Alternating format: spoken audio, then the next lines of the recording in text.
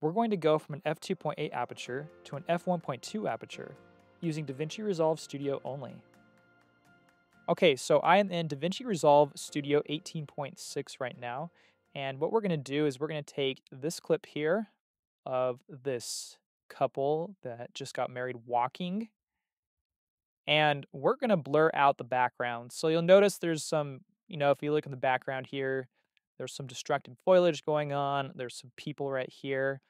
And so what I'm going to do is I'm going to blur out the background here, but the trick is we obviously don't want to blur out the couple, um, nor the, the things that are on the same, um, kind of the same distance from where they're at, so we don't want to blur out this window. So what we need to do here and the problem we need to solve is we not only want to just blur out the whole background, but we want to blur out, we want the very, very back back here, that's very far away to be blurred out the most.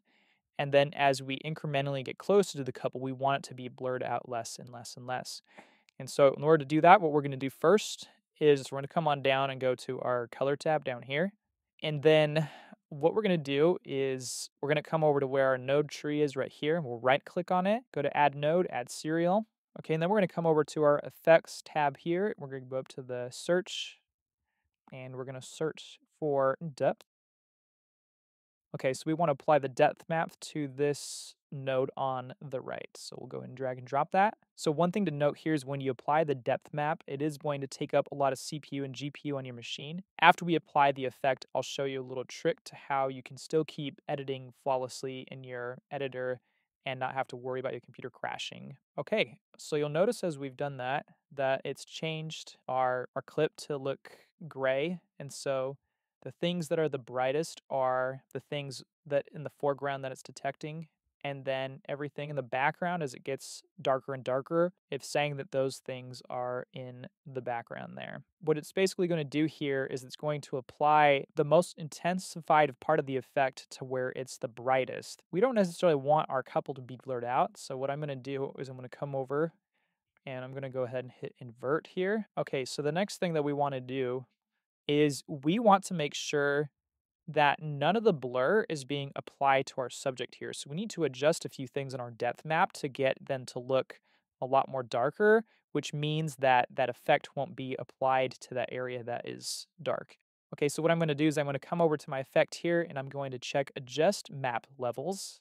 We're going to set the near limit on this one to .477 and again, this number or this threshold might be different depending on what your shot looks like. So just keep that in mind. .477 is not a magic silver bullet. It just works well for this clip. And you'll notice how they're completely blacked out now, which means the bokeh is not going to be applied to them.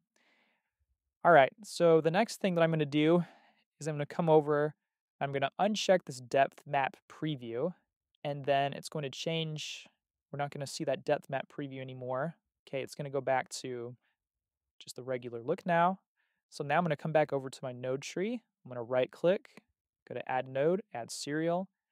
And then what I'm going to do is I'm going to um, click on, so this is an important part here, is you want to click on this blue square here, hold the mouse, drag a line over to this triangle and connect that as well. So what this is doing is it saying that we're still working within the depth map on this next node. Okay, so for this next effect, I'm going to go back to my search engine up here. Then I'm going to type in blur, and then we'll go to lens blur. Okay, so right off the bat here, when we look over at our clip here, this blur looks way too unrealistic to me. It looks like too much ghosting is going on. It just doesn't look very natural to me. So the trick is with this is that you don't want to add a ton of blur. You just want to add a very subtle amount that can make a big difference in how the image looks. So I'm going to come back over to my effects here. Okay, so the blur size, I'm just going to crank this ever so slightly down to 2.85. Okay. And then if we go back over to our clip here, you'll notice the difference in how that looks. Okay, so let's look at these clips side by side. So you can definitely see a big difference here. It seems like more of the background is blurred out and it looks quite natural. And what's nice too is you don't really see any ghosting around the couple as well. It just feels a lot more natural to me. Okay, so in a nutshell, that's the effect.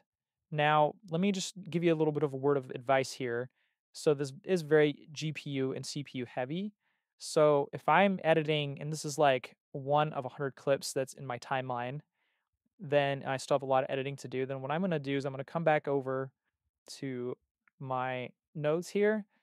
And then on the node where I apply the depth map and the blur, I'm going to just hit Command D on both of them. So I'll click on this one, hit Command D, disable, and I'll disable on this one. And then what that's going to do is that's going to take away the effect and still um, allow us to, you know, play back the clip in real time and not have to worry about that effect lagging down our edit and, you know, it's going to save us a lot of time. And then once my edit is locked and everything's in place and I'm ready to export, then I come back into my color panel. I go back here and then I click on this clip here, hit Command D again, hit Command D again, and then I go over to export. I'm gonna export my clip or my video out. Okay, so there you have it. That's how you can stop down your aperture digitally in DaVinci Resolve. So we went from 2.8 in this clip to uh, making it look like it's at an f1.2.